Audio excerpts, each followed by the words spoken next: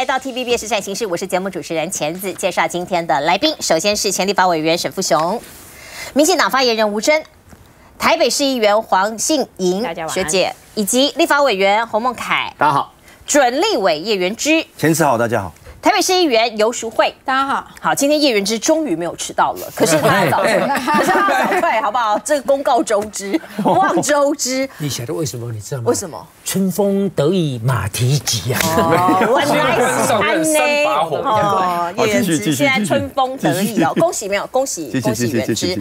那我们来看看呢，现在台海啊，是不是比较稳定了呢？还是其实还有一些波澜在里头？我们先来看看王毅跟苏立文在曼。曼谷在泰国曼谷见面了哦，那这一场王毅跟呃苏立文的会面啊，到底谈什么呢？我们看到美国哦，苏立文这里是说，呃，强调维持台海和平稳定。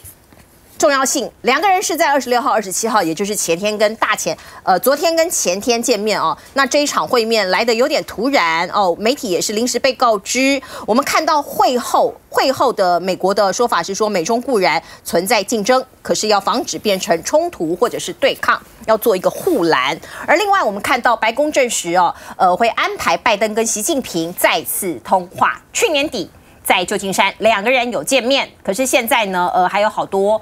方方面面的事情要讨论，所以要安排两个人再次通话，预计在未来数月内举行。而另外呢，我们看到哦，包括台独的议题，包括台海的议题，也是在呃苏立文跟王毅的会谈里头，我们知道有一定的篇幅，可是谈的怎么样了呢？看看报道。大陆外交部长王毅与美国国家安全顾问苏利文二十六号、二十七号两天在泰国曼谷举行超过十二小时的双边会谈。王毅重申，台湾选举结果改变不了一中原则。苏利文则向王毅强调维护台海和平稳定重要性。港媒报道，往年美中会晤的第三地多半在欧洲，不过这次王毅正好前往泰国洽谈永久免签协议，苏利文则是特地前往泰国会面。而双方除了聚焦台海，还讨论了中东、乌克兰、朝鲜半岛以及南海问题。会后，白宫发表声明，指美中将寻求更多高层外交，并要让美国总统拜登与大陆国家主席习近平在几个月内再度通话。美国的现在自己的国家的经济和它的军力已经忙不过来了，欧洲、中东那边已经发生问题，如果这边亚洲、东亚这边再发生问题，美国作为一个世界警察。他现在是忙不过来的。去年十一月十五号，拜习两人在旧金山会晤，同意开启中美元首热线，恢复两国军事沟通。在台湾大选后，大陆对台压力势必升高，中美忙着控管冲突，步步为营。好，大家要知道这两大国东西两大国的这个见面哦，他们谈了十二个小时，整整两天。那内容其实记者没有办法进去，也没有办法记录，都是看。呃，这两国会后有记者会，各自发表声明，所以到底谈什么，其实我们并不知道哦。那呃，包括台独是和平最大的风险吗？这是中国大陆这边的说法哦。所以我们的外交部部长吴钊燮也很呛哦，他呛这个是媒体记者的用法，呛王毅说对被共产党统治没有兴趣啦，什么风险我没有兴趣啦哦。那另外我们可以看到大陆学者也讲了，追求台海和平，中美各说各话哦。其实必须讲啊，到底有没有共识？是哦，或者是两边的解读哦，有时候都是高来高去。美国说要和而不同，分而不独，可是大陆念之在兹，统一啊哦，这个中国大陆铁板一块。来请教沈大佬，啊，对我们的外交部长啊这样的回应，我是觉得有一点 low 了哈，但是也在意料当中。我的看法跟国内的大部分人呢，不管蓝绿是不一样的，因为我看到王毅啊这样。几乎跑了半个地球，对，那到了每一个地方都要对方讲一种原则，一种原则，嘴巴一定要讲，而且要讲得很清楚啊。那这样的消息在国内的解读就说糟糕了，又武统了，台湾没有凝滞了，风险大了，又要打仗了。我觉得不是这样，我觉得王毅啊念之在之的，就是台海不能因为台独而打仗哦，所以呢，他才要 make sure，就说我们的对手，我们的邦交国。就是要承认一中，他最在意的就是台湾朝两中、两个中国或者一中一台的方向倾斜或者迈进，这个就会被被逼的中国不采取某些手段，所以他不要。所以由这些事情，你就可以看出中方在可见的未来，我不想说五年、十年、是二十年，他大概最不愿意的就是在台海，因为台湾而引起打仗。因为他如果在台湾引起打仗的话，他就上了老美的当，尤其是民主党主政之下的美国政策啊，他就是围堵嘛，哈。那围堵的结果呢，就是不时的，虽然他嘴巴讲的是要和平，但是他其实不太反对。老共因为台湾而出手，为什么？因为现在他们两强之间啊，什么休息底的陷阱啊，什么太平洋够大可以容两个人游泳啊，这些其实这些都是嘴巴在耍嘴皮。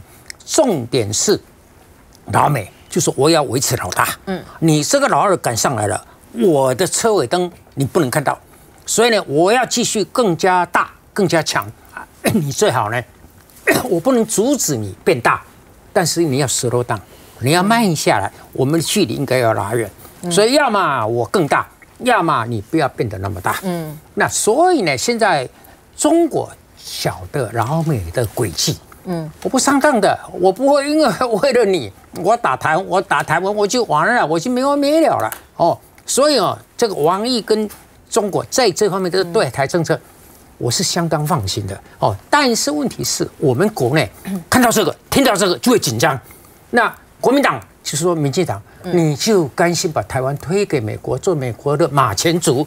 那民进党就骂国民党，你一心向北京表态，你是要把台湾变成北京的嘴边肉。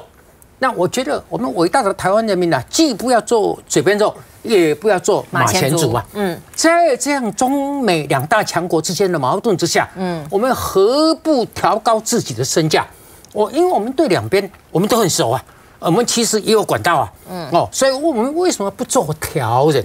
嗯哦，甚至最近昨天的一个传言就是说，非常有可能川普年底要回到白宫啊。对啊。而他回到白宫啊，他又要筑高墙了。他跟拜登的围堵不一样。嗯。他要筑高墙，高墙之外的事情我少管，高墙之内的事情我要 Let America Great Again。嗯。哦，美国优先。对。嗯。按照这样子之下，嗯，听说他还要对。中国提高关税到百分之五十，足足高贸易壁垒。嗯，我觉得我们的领导人如果聪明的话，应该讲，Good，Let's do it。哦，那我们台湾就要怎么样呢？我们台湾就要宣布，我们要做两边的最惠国，免税或者把税降到最低。老共我们来往免税，老美我们两两边来往免税。你想台湾？会变成一个什么样的景象？理想国不得了哦，不得了！大家何不想想看，是为什么一天关起到晚关起门来，一天到晚吵架？我们希望有最聪明的做法跟最好的结果啦。可是我刚刚讲到苏立文跟王毅的见面是没有记者的，他们只有在闭门会议前可能会试出像这样子的一张照片啊，会有一张照片。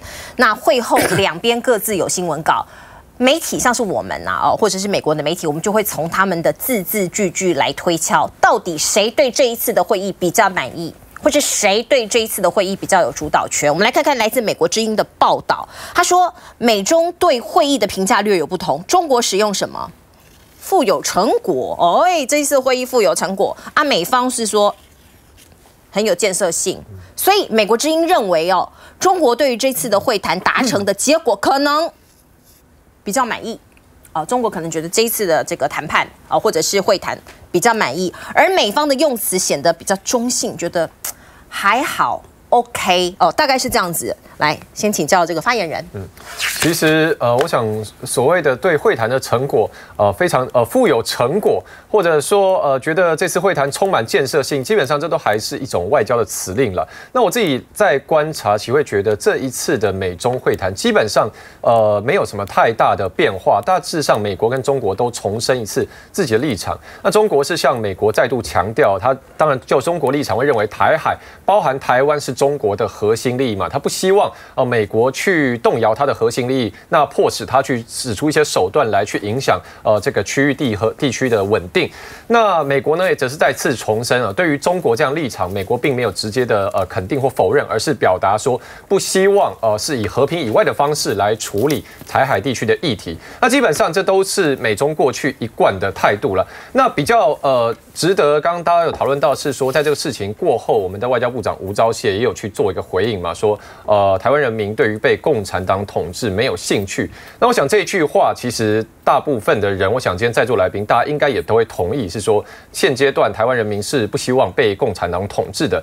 那至于是说有人会质疑说，哎，为什么吴钊燮要特别跳出来讲这个呢？是不是有必要去这样子做一个比较强硬的表态吗？我想这边要去跟观众朋友们来解释说，是在民进党立场认为，当中国每一次的重申台湾是它的内政问题的延伸时候，其实对于我们来讲是有必要去把这个问题论述清楚的，因为包含说王毅所使用字眼，不希望被迫的啊未来去影响这个地区稳定，包含我们注意到，其实中国在他们国内是有所谓反。分裂国家法嘛，中国很早就把对台湾的统战，包含法律战、法治的层面，都已经完成法律的制定了。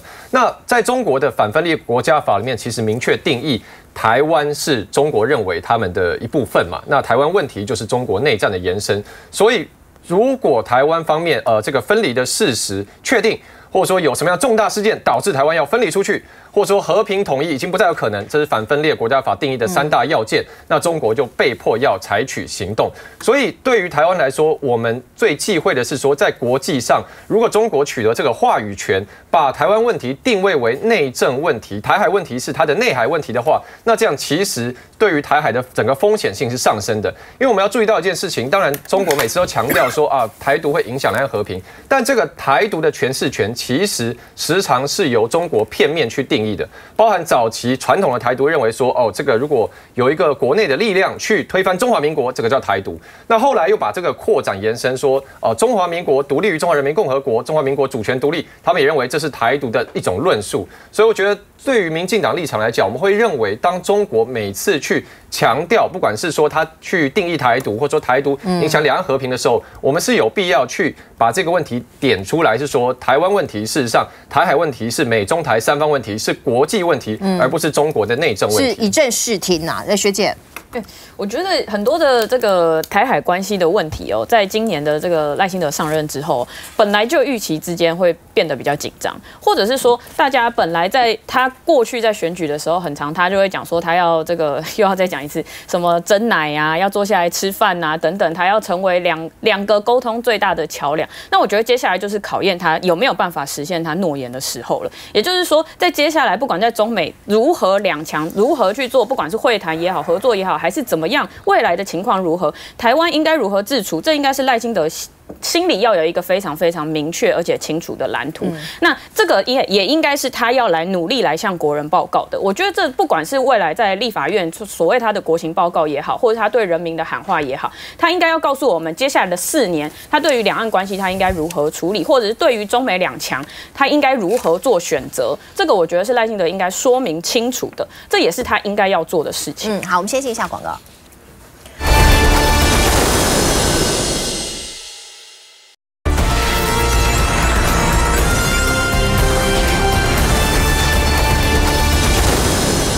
观众朋友，我们中华民国现在只剩下十二个邦交国，呃，而下一个呃，这个看起来有一点点拉警报或者是岌岌可危的是土瓦鲁吗？这是一个南太平洋上的小国，最近他举行了大选，那原本的这个总理哦，跟我们台湾交好的这个总理哦，他国会议员没选上，没选上意味着说他不可能连任嘛哦，所以他败选之后，是不是会影响我国的邦交呢？中华民国外交部有发一个声明，他说当选议员大多支持我们台湾呐，哦，所以我们会密切注意，可是大家也不必太惊慌。有学者就讲说，新总理极可能是有台派哦，那正反的这个学者的评论都有。可是观众朋友知道，呃，或者是有印象的话，大概两个礼拜前吧。这个土瓦鲁驻台的这个大使接受了澳洲媒体的访问，啊，自己讲出来说，哎呀，我们现在有可能哈，新政府可能要跟中华民国断交，有可能会转向到中共那里去哦。那呃，另外呢，还有哦，也有这个知情人士或者是外交系统抓到了一件事情，他们抓到了说，中国有认知作战，不只是对我们发动，也对土瓦鲁发动啊，他们出资四百五十美金哦。大概台币一万多块哦，那换八百字的评论，就是当地的媒体啦哦，当地的媒体说，哎，麻烦这个沈大佬，你写一篇八百字的 article 评论哦，登在报纸上带风向哦，说跟中国建交比较好，跟台湾断交比较好，类似像这样子。可是最后这个计谋没有得逞。好，我们来看看。虽然画面做了色调处理，一名华人面孔的男子正在焚烧物品，只是拍摄者此时上前。这是由我们前友邦所们寻找的一家媒体 SBM Online 发布的影片，叙述形容诺鲁转而承认中华人民共和国，这激怒了一名台湾外交官。正如这段影片所示，他焚烧了该国国旗。经查，SBM 所报内容是恶意诋毁，对这种错误报道要表示抗议。并对有心人士刻意以片段内容企图操弄之举表达强烈谴责。外交部证实，台诺断交之后，集中销毁无需保存的业务卷档及物品，维护机密安全。白话文就是，焚烧物品是真的，但我方可没烧诺鲁国旗。外交部批评有心人士认知作战，而我涉外人士最新指出，中共官媒开价四百五十美元给土瓦鲁电视台，要求杜撰一篇选后可能与台湾断交的八百字报道，遭拒绝。calls for the recognition of the rights of the people of Taiwan. To the UN premises. 内阁制的图瓦鲁二十六日落幕的国会大选结果显示，原本的总理未能连任。外交部则强调，已知的当选人大部分都与台湾大使馆互动频繁，并支持维护两国邦谊。但是他们可能主要关注的还不是国际议题。新的总理是不是一定在意识形态上亲中或或是呃对抗台湾？我也不这么认为。也就是说。接下来，就算新总理，我们都也还是有机会经营了。不太担心土瓦鲁，学者倒是忧虑瓜地马拉。选后外交风向诡谲多变，对岸持续对我国执行压力测试。好，所谓是四百五十块美元，要当地媒体带风向，写文章，写说中国好棒棒，台湾好坏坏。哦，这个证据在哪里呢？一开始的文章是来自于晋传媒的独家。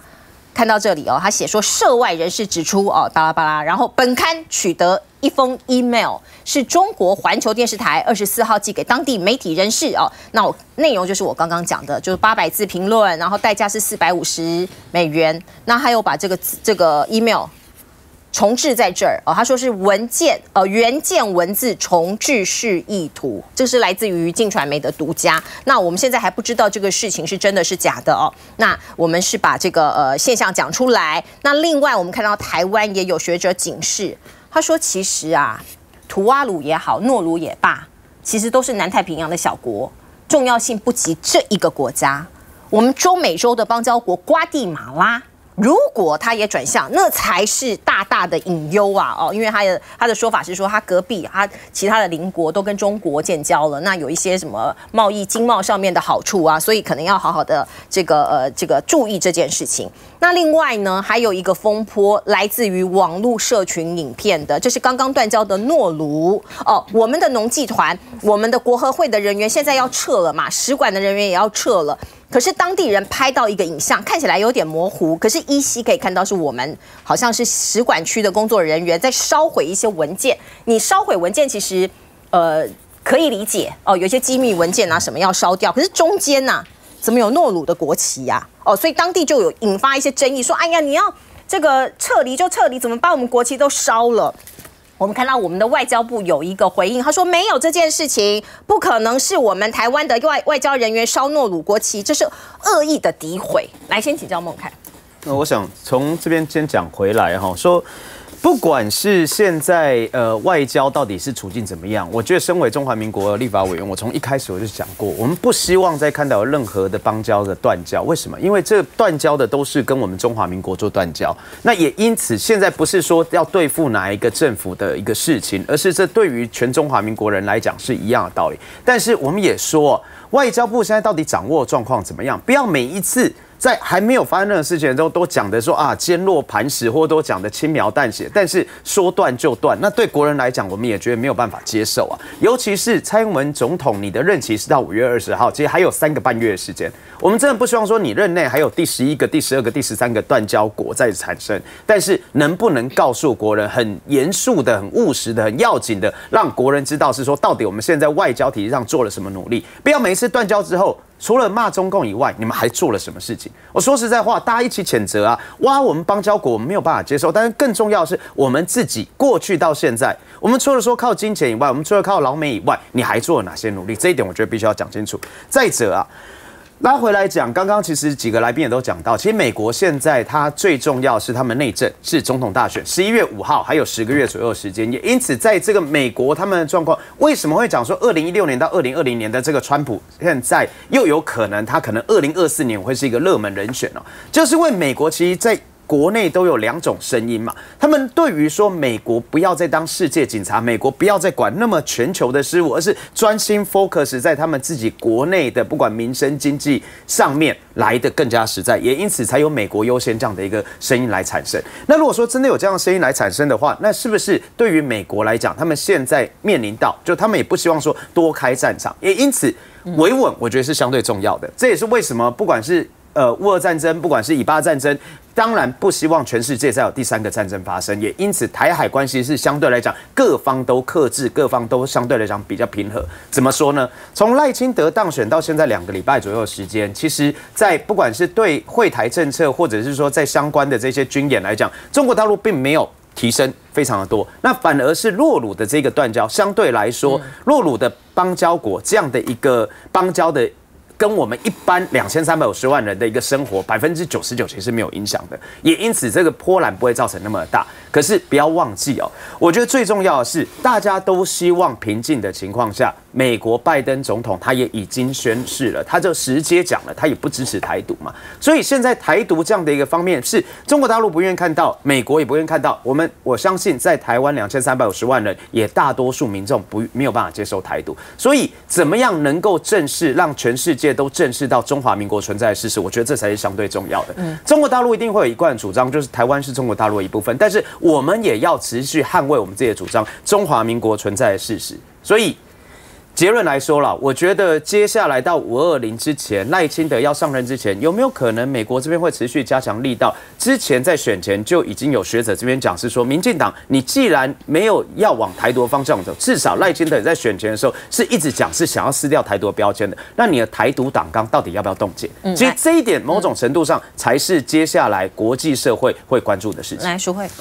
呃，我们先讲那个图瓦鲁好了，可能台湾民众还是一样很陌生哈。这是一个号称全世界最难抵达的国家，因为班次很少，然后还要经过斐济去转，那人口大概只有一点一万人啊，逐渐在减少。那选十六个议员，也就是说每个议员大概一千票就可以当选了啊。但是一点一万人什么概念？呃，我们台北是两个里的这个大小哈，不是说人口大小它不重要或是什么，而是先讲一下背景哦。那这一封所谓的原件重置哈，光是这四个字就。很有趣了啊！为什么需要原件重置呢？因为它应该就是一个很简单的 email，即便重置了以后就是这样子嘛。揭露者有两个，一个是静，一个是王定宇哈。光是这两个来源，我已经对它的真实性打一个大问号了哈。以王定宇的风格是不用把寄件者给涂黑的哈，但是这一封信，寄件者跟收件者都涂黑。王定宇要保护土阿鲁那边的收件者，好吧，我可以理解，但是他应该没有那么好心，还要去保护环球电视这边的寄件者。所以到底真实的内容是怎么样？原件是怎么样？用这样子号称原件重置，你取得来源是怎么来的？我是打一个问号。好，那即便它是真的好了，用四百五十块换取一一篇就是轻中的这个媒体报道，那我们台湾的外交系统在做什么呢？四百五十块不贵啊，我们在维护我们的邦交国，从一九七九年台台湾跟图瓦卢就已经建交了，你本来就也应该定期的去。图瓦鲁去告诉这个两国人民两国的邦交是台湾的美好。嗯，对你本来也要做大大外宣嘛，你这个时候去骂别人干什么呢？我觉得一直以来哈，台湾的外交困境哈，自从这个民进党执政以后，从两岸这个休兵变成两岸竞争，那这个就是我们可以预见的事实啊。民进党选择抗中这一条路，就要选择做好竞争的准备，不是吗？要像个成熟的大人，不能一方面说我要抗中，一方面说你不能跟我抢，你不能跟我竞争。没关系啊，我们挺你啊。那你要想出来，你要如何去跟人家竞争？你要如何去抢邦交国嘛？不是一直坐在那边像个不成熟的妈宝，不断的骂对方说你怎么可以来抢我的？哎，先选择抗中的，不就是民进党的两岸策略吗？来源之，我们每我们每次讨论到这个邦交国会不会断交，我觉得民党策略都是让你感觉就是啊断断就习惯了那，没差了。而且他们都有个套路啦，第一时间就是先否认这个有可能的传闻，像诺鲁的事情就是一样。去年十月份的时候，那时候黄介正就有提醒说诺鲁的外交可能会生变，就那时候外交部出来骂黄介正，骂很难听哦。他说黄介正你这个枉为学者不查证。啊，就一月就断交了。那断交，外交部也没跟没有跟黄介珍道歉。没有，他现在说唱衰，唱衰就是唱衰。好，那那现在图图瓦鲁这个事情爆发，那讲的好像否就是否认嘛，哈，有些消息也说是不是真实的。那到底会不会真的邦交可以维持住？然后第二个就是，如果发生这个事情之后，就推给中共。我觉得那个信其实要带一个风向啊，就是哎，早就告诉你了嘛，这就中共在里面介入啊。你看他当时就是写一个信啊。给当地的媒体啊，叫媒体去报说什么跟台湾关系如何如何如何。到时候如果图瓦鲁跟我们断，又可以扯到中共，然后他那他们又没事。然后第三个就会开始数落我们的邦交国啊，这个是一个小国啦，你看啊，这个人口只有一点一万人口，以以前都是这样啊，哇，那可以慢慢数落，你知道吗？因为我们现在剩下十十二个国家，人口加起来只占全世界百分之零点五啊。他们说这就很习惯了，反正每个都很小嘛，除了瓜地马拉或马绍尔群岛等之外，然后最后就会说。哎，没关系，我们重视实质关系，我们实质关系是有进步。可是我看一看去，实质关系也没什么进步啊。美国确实是对我们的那个声援很大，可是也没有协助我们加入什么 WHO 等等国际组织，然后包括是我们跟国际上面所签的一些实质的贸易协定。自从马总统以后，蔡总统好像也没有签嘛，说要带我们进 RCEP 啊啊，就 RCEP 没签到，就说啊那个不重要，可以加入 CPTPP。那 CPTPP 现在呢？好像也没有一个头绪嘛，然后当初叫我们吃来猪，就是说要加入国际贸易组织，然后现在也没有嘛。那 a 克法可能会可能会断，那他们又说没关系，反正反正我们现在呃有新南向或者是其他国家的贸易有深化，但问题是 a 克法是免关税啊，你现在要告诉我们说我们到底增加多少免关税的贸易协定，这是重点啊。